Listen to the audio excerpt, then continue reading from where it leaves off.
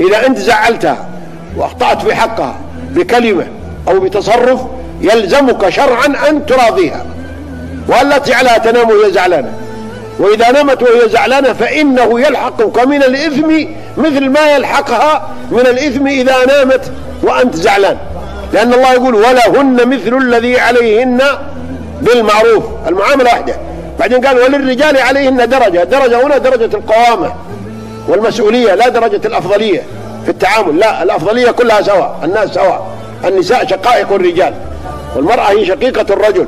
ولا ينبغي أن يشعر الإنسان بالاستعلاء ولا الفوقية ولا الهيمنة ولا الاستكبار والتغطرس. لا.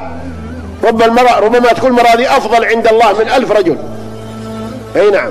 بعض النساء عند الله أفضل كما قال الشاعر يقول ولو أن النساء كما ذكرنا لفضلت النساء على الرجال فما التأنيث؟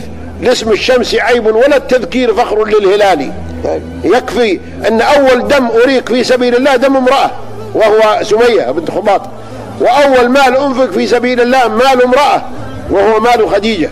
بل أول قلب دخل فيه الإسلام قلب امرأة أول من أسلم من الناس برسول الله صلى الله عليه وسلم خديجة رضي الله عنها. أي نعم. فالمرأة لها مكانها لا نسقط حقها ولا نشعرها بالدنيا وأنها تحت لا.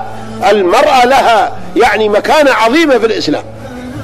نأخذ منها الحق ونعطيها أيضا الحق الذي أوجبه الله عز وجل لنا.